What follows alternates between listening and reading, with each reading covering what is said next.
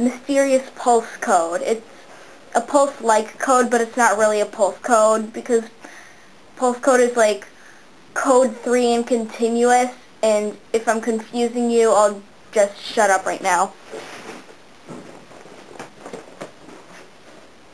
This is a lot quieter than normal.